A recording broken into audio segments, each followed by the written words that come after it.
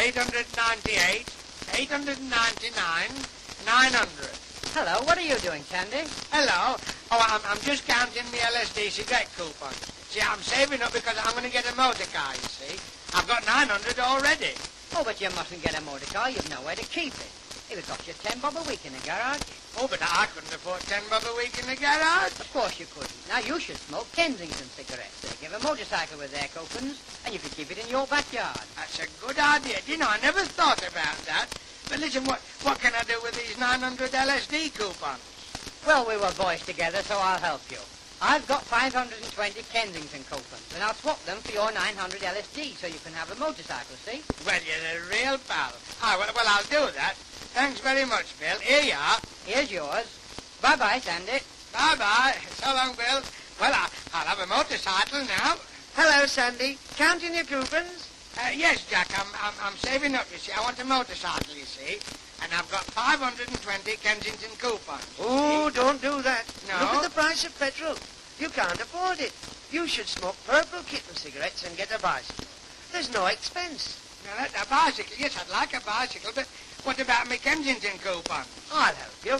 I'll swap my 305 purple kittens for your 520 Kensington. Uh, ah, well, all right. Well, I'll do it, Jack, all right. Well, it is yours. And here's your purple kittens. So long, Sandy. So long. Well, now for a bicycle. Purple kittens, eh?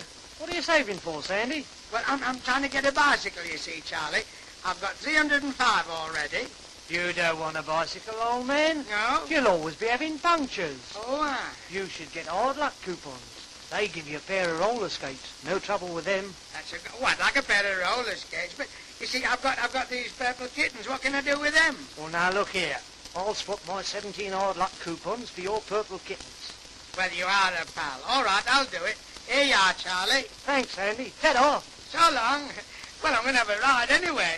If it's only on a pair of roller skates. Who's going to have some roller skates, Sandy? I am, Tom. I've got 17 hard luck cigarette coupons. Nonsense. You'll have to get about 2,000 of them. It'll take you months and months and months. Ah, but you see, I, I wanted to ride now, you see, Tom. Oh, I see. Well, listen. We've always been enemies, but I'll help you.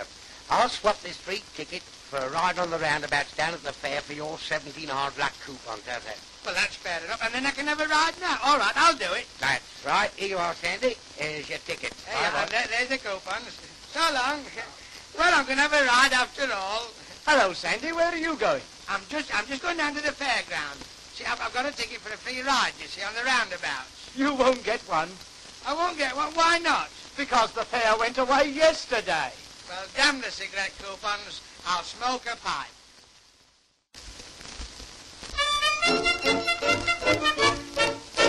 I nearly gave up smoking cigarettes a month ago.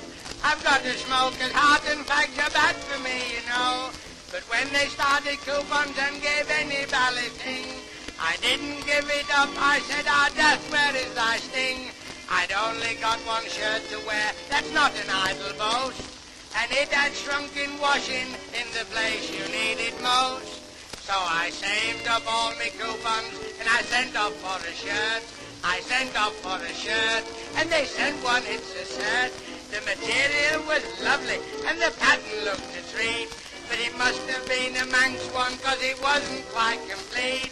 It's true it had a dicky, but it had no dicky seat. So I had to keep on smoking till I got one. So I saved up all my coupons and I sent off for a seat. I sent off for a seat, but they thought I said a suite.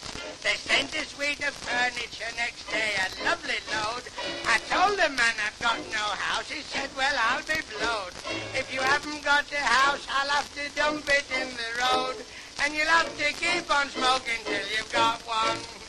So I saved up all my coupons and I sent up for a house. I sent up for a house. And when I got the house, I sorted out the furniture, and then I got so scared. They'd been and sent a great big double bed that should be shared, and I found I'd need a wife to keep the other side well aired.